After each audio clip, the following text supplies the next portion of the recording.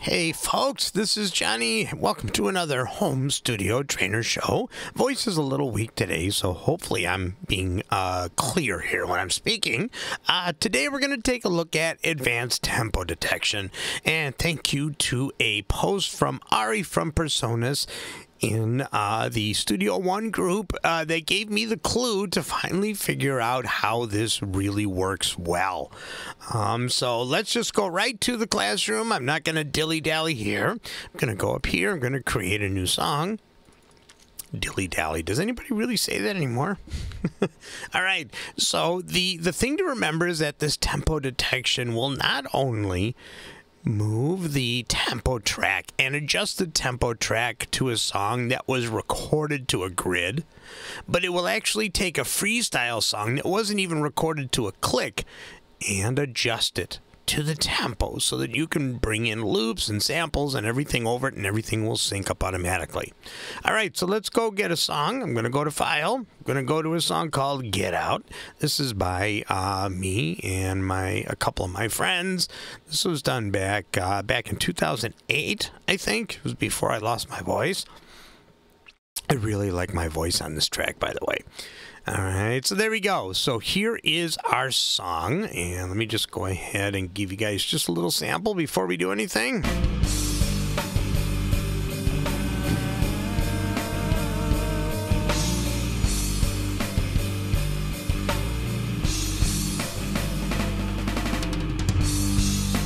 My friend Wayne on the V drums, my friend Mike on his bass, and I'm doing the guitar and vocals. And the uh, guitar distortion is from Ampire, actually. All right, so let us do this this way. We'll see if that's Ampire. So this song was 2010. This was just before Wayne moved and I lost my voice. All right. So the first thing that we want to do once we actually have our sample in here, or our song in this case, I'm going to right click and I'm going to do detect tempo. And it detects the tempo. And you can see it places a little diamond. Now, this was the part that confused me. I see if I can get this thing to work here. There we go. Uh, I didn't know what this thing was for. And what you need to do is let's go ahead and just shorten this up a little bit. So the first thing you do before you can get the tempo track to follow the song, you have to line up this little yellow diamond with the first or I should say with the nearest downbeat. Now, so the song and the click are going to start at exactly the same point. Now, sometimes it might put this in like, you know, further down the song looking for the first beat and all you have to do is just line it up with the nearest downbeat. All right, so now you can see I've got the tempo track open here. All I need to do is drag this straight up. And boom, look at this. So now the advanced tempo detection will actually reflect all of the tempo changes in the song with the tempo map. I used to do this manually to get old songs to line up so that I could actually drag in some percussion. So if I turn on the click and I turn it up all the way so that you can hear the click on top of the song, you've got this.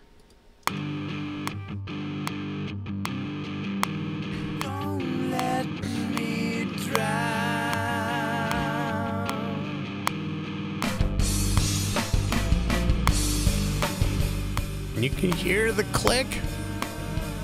It's perfect. Even on some of the tempo changes.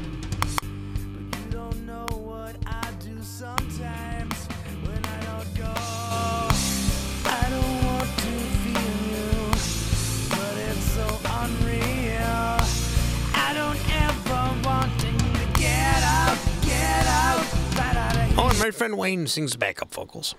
All right, so now we have our tempo map in a perfectly mapped song. And, excuse me, I'm just going to go to Splice.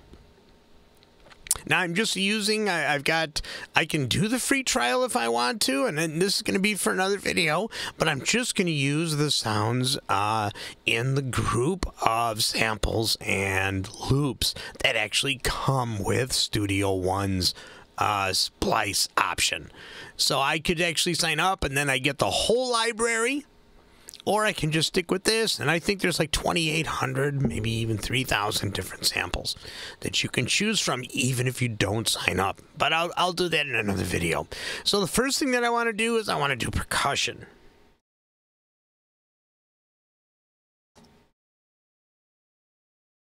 And it's going to give me some options. Let's let's listen to a couple. Think I found it.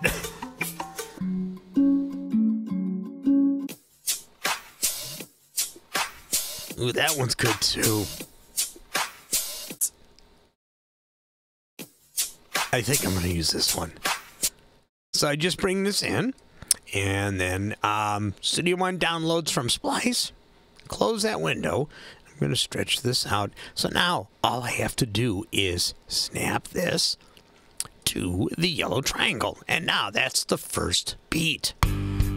Let's go back to the top. Here we go. Nice.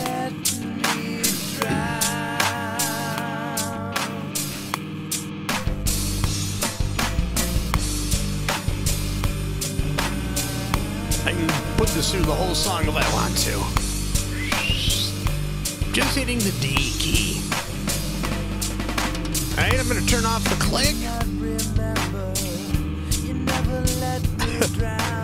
it's a little loud, but I want you guys to hear how it stays synced.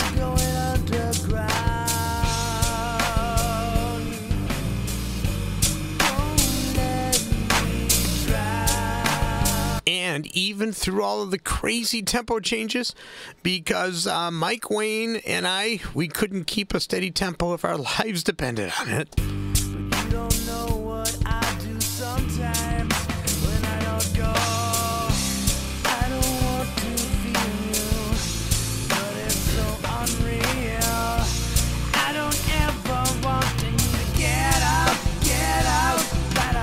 If I go to the end,